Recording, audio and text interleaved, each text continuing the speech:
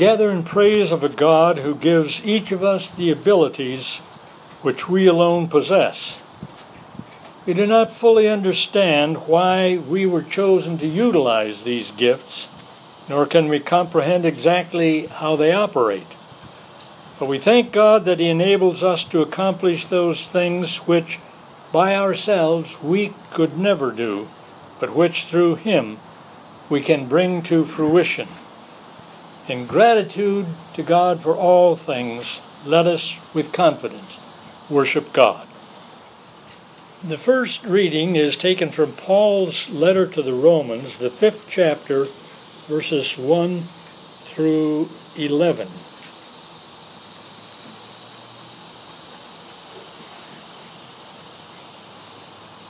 Therefore, well, let me let me preface this by saying, in this particular section of what is surely his most important letter, Paul is talking about the place of Jesus in the great scheme of things, and in particular, the importance of the crucifixion. So he says, Therefore, since we are justified by faith, we have peace with God through our Lord Jesus Christ, through whom we have obtained access to the grace in which we stand, and we rejoice in our hope of sharing the glory of God.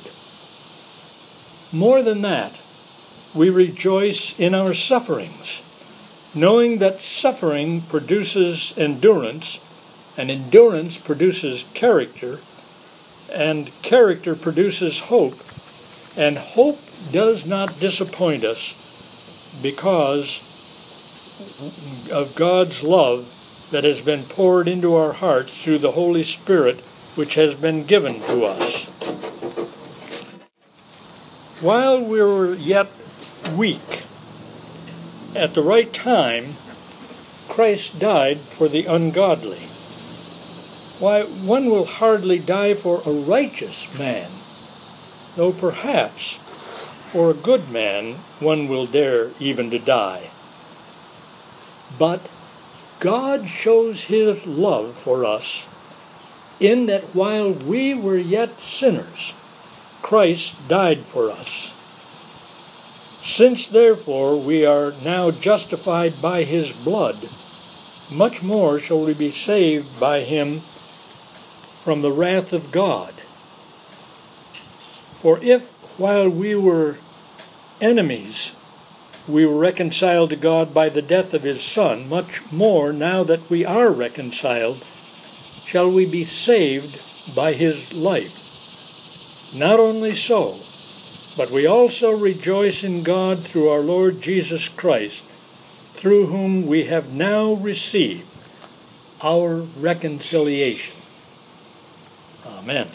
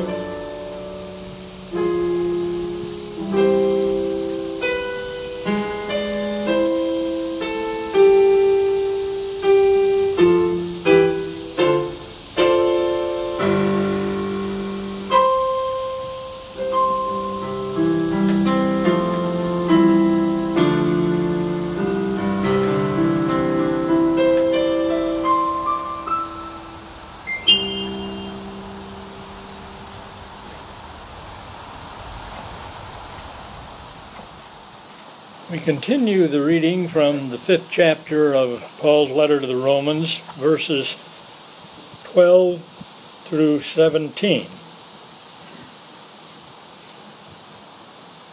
Therefore, as sin came into the world through one man, and by that he means Adam, and death through sin, and so death spread to all men because all men sinned.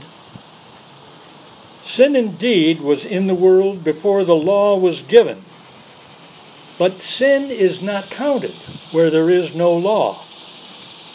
Yet death reigned from Adam to Moses, even over those whose sins were not like the transgression of Adam, who was a type of the one who was to come.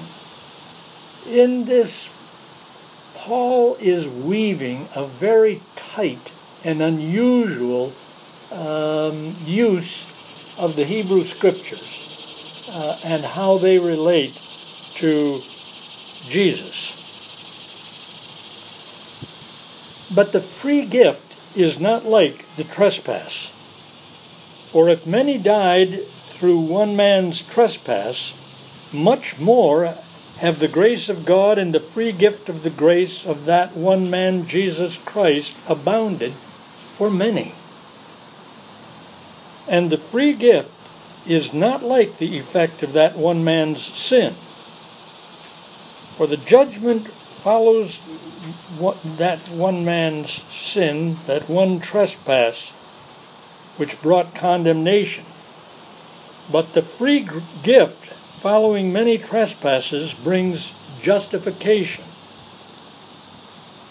If because of one man's trespass, death reigned through that one man. Much more will those who receive the abundance of grace and the free gift of righteousness reign in life through the one man, Jesus Christ. Amen.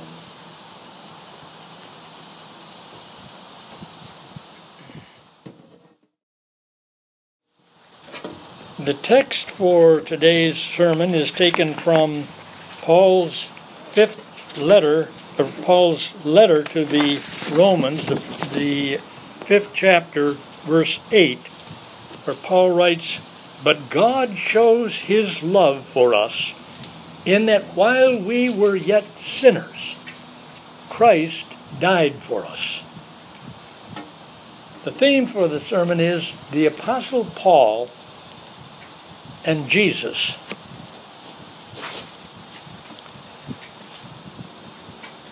Roughly 60% of each of the four Gospels is the account of Jesus preaching and teaching and going around the region of the Galilee and giving the message of the gospel.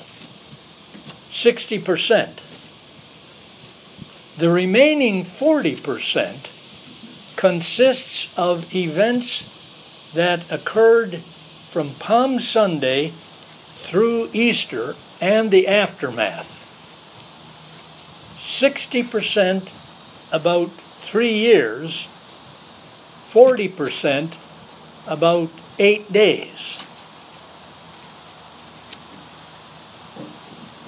Surprisingly, in his own ministry, the Apostle Paul almost never said, referred to anything that Jesus said or did. In fact, he quotes Jesus only twice And both of those in 1 Corinthians 11, where he explains how Christians ought to celebrate the Lord's Supper. He recalls one thing that Jesus said, and this is recorded in the Gospels, where Jesus took bread and broke it and said, This is my body, which is broken for you. Do this in remembrance of me. And then after that, Jesus took a cup of wine and he said, This cup is the new covenant in my blood. Drink of it, all of you. And those two verses he quotes exactly as they are found in the Gospels. But that's all Paul ever said that Jesus said and he never mentioned anything that Jesus did. Why? Why didn't Paul talk about the life of Jesus? Why did he focus only on his death and resurrection?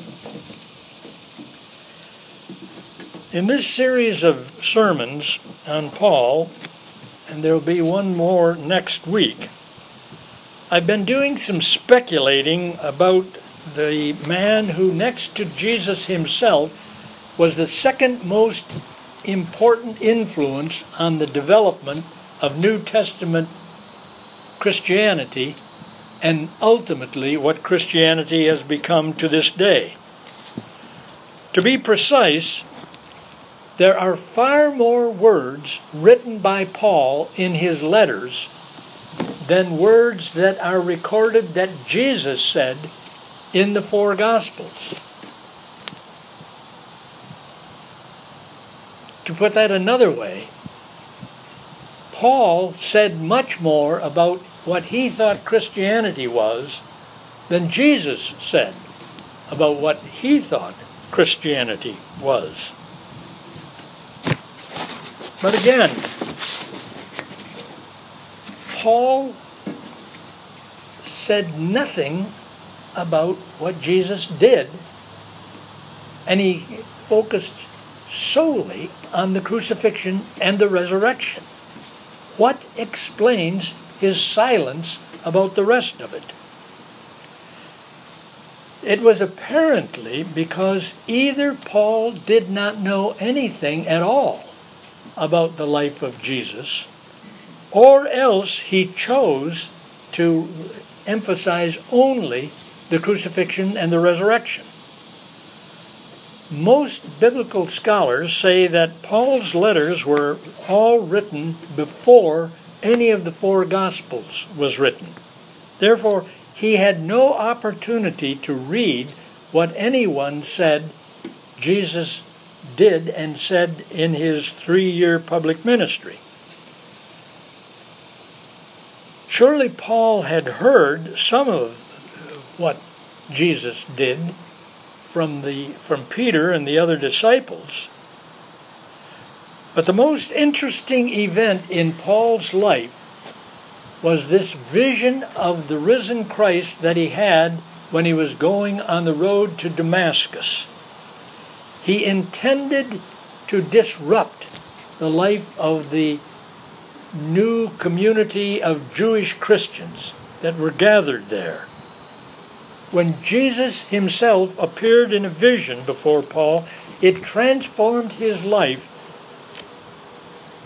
in a never to be forgotten conversion experience. Paul referred to this again and again throughout his letters.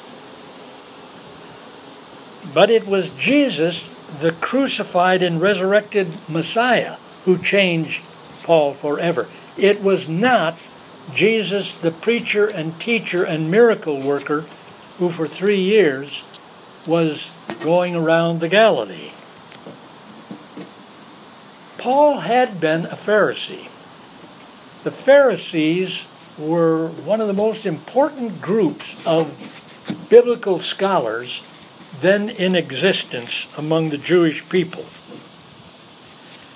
For Paul to become a Christian would be as radical a transformation as when John Henry Newman, the Anglican priest in England, converted to Roman Catholicism and became a Catholic priest and ultimately a cardinal. This occurred in the middle of the 19th century. Or it would be as radical a conversion as when the famous Oxford professor C.S. Lewis, an avowed atheist, had a conversion experience and became one of the most influential Christians in the mid 20th century. Those who have had radical conversion experiences sometimes have a far more profound effect on Christianity than those who are raised in the faith and never have such an experience. As a Pharisee, Paul was very aware of the importance of sacrifice in Judaism. People arranged for priests to sacrifice animals on the altar at the temple in Jerusalem. They believed that that sacrifice of a living being took away their sins. When Moses was in the desert with the children of Israel, he sacrificed a lamb and then they took a goat and drove it out into the desert. The sacrifice of the lamb symbolized that their sins were taken away. The scapegoat being forced out into the wilderness was a further illustration of that symbolism. On the day of Passover, a lamb is sacrificed in each Jewish home. Again, symbolizing the taking away of sin, but also, in that case, symbolizing their escape from their slavery in Egypt when Moses led them in, out into the desert and toward the promised land. Sacrifice was a major element in Judaism. Without it, Judaism would be a far different religion. Now, with all of that background as an essential part of Paul's belief system, he came to see the death of Jesus on the cross as the essential element of Christianity.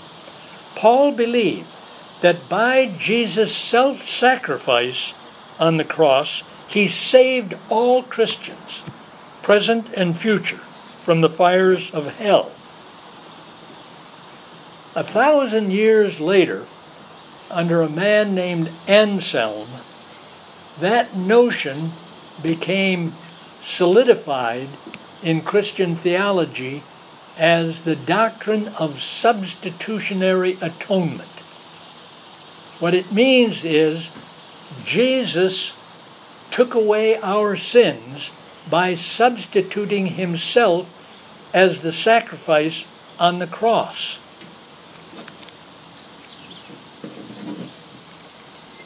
However, for Jesus to be willing to sacrifice himself on our behalf,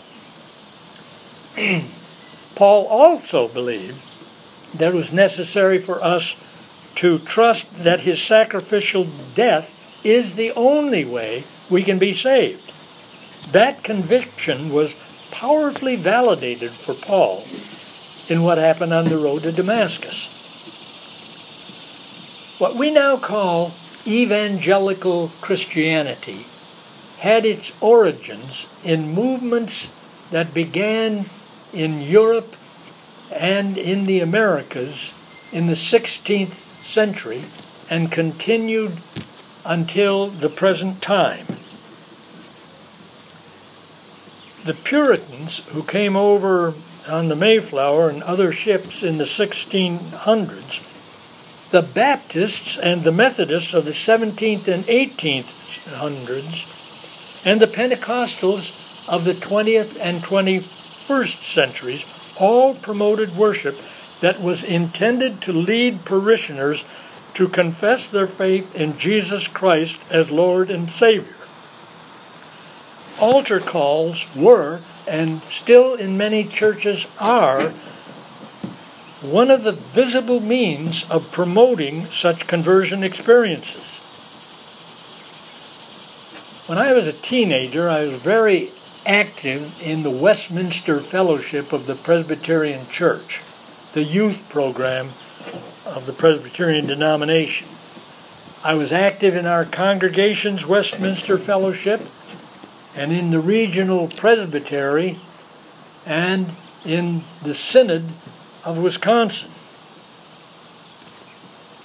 One year, I attended the National Assembly of the Westminster Fellowship at Grinnell College in Iowa. I remember a kindly old minister. He was probably in his late 40s or early 50s, taking me aside to speak to me after a discussion group in which he had been the leader. Perhaps on the basis of some things that I had said in that discussion, he thought he needed to have a conversation with me. So he took me aside and asked if I had ever confessed Jesus Christ as my Lord and Savior. I told him that I had joined the church twice. First, in confirmation class in Kansas in the fifth grade, and then secondly, in the confirmation class in Wisconsin, which didn't occur till the ninth grade. So I joined twice. That was not what he was talking about. He told me that he wanted me to think about Jesus on the cross and to ponder hard about what that meant. He said he would wait while I took several minutes to do that. I thought as hard as I could. But at the end, I said, nothing happened. He was sad that he that I did not have the same kind of experience he had had as a boy of about my age. I think I understood what he wanted to transpire, but it never did. Not then, not ever. It is Jesus dying on the cross that is the transformational reality that leads many Christians to Jesus. For others, however, it is the teachings of Jesus that lead them to Him. Among the majority of mainline Protestants and most Roman Catholics, we consider ourselves Christians because we grew up in the church and we thought we were always Christians. Unless we rebelled at some point, we suppose ourselves always to have been Christians. Maybe you don't see it that way for yourself, but I see it that way for me. I guess I'm just too ordinary a person to have a bolt from the blue conversion into Christianity or anything else. I just keep plodding along and thinking about things, trying to fit it all together. Saul of Tarsus did not have that kind of personality. He was too much of a leaper he would leap from one thing to another and then to another.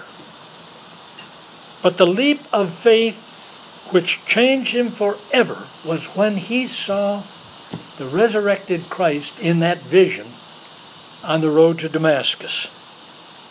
I have no doubt that he truly saw Jesus and that that vision propelled him to become the apostle to the Gentiles and thus the key to the phenomenal early growth of Christianity.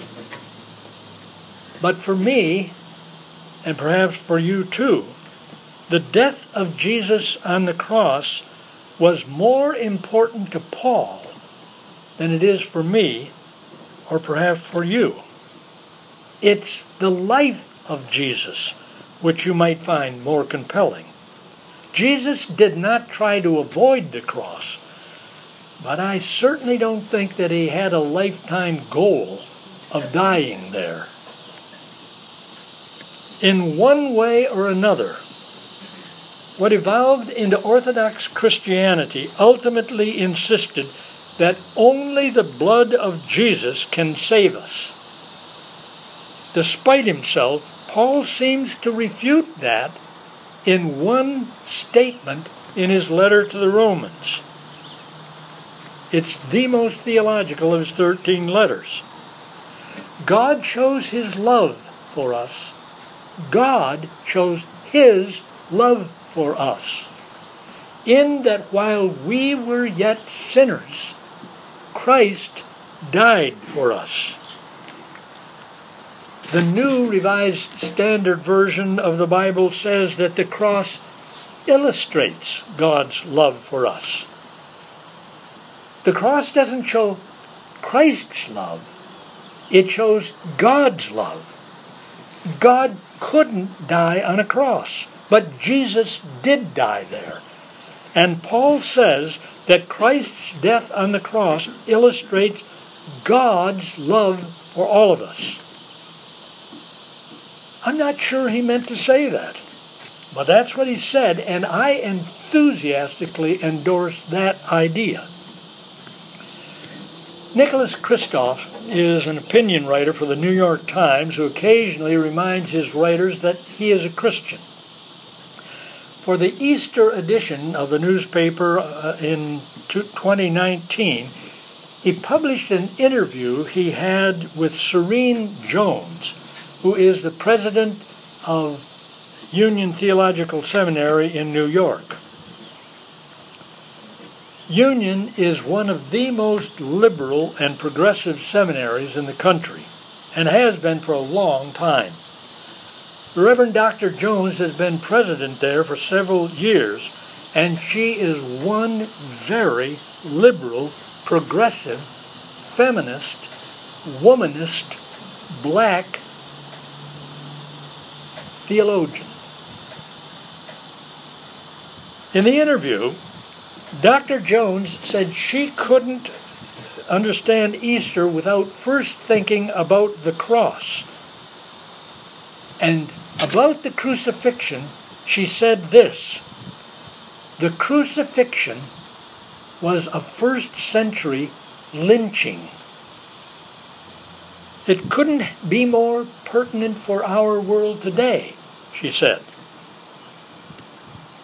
Very few white theologians would ever describe the crucifixion as a first century lynching.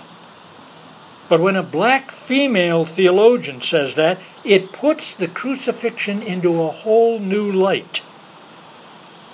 Dr. Jones went on crucifixion is not something that God orchestrates from upstairs. The pervasive idea of an abusive God Father who sent his own kid to the cross so God could forgive people is nuts. Wowee. Those are words that most of us have a hard time wrapping our minds around. I don't recall ever hearing God called, or Jesus called, God's kid. Nor can I remember having called any theology with which I strongly disagreed nuts. I might have thought that, but I never said it, or if I did, I'm sure I would have regretted it afterward.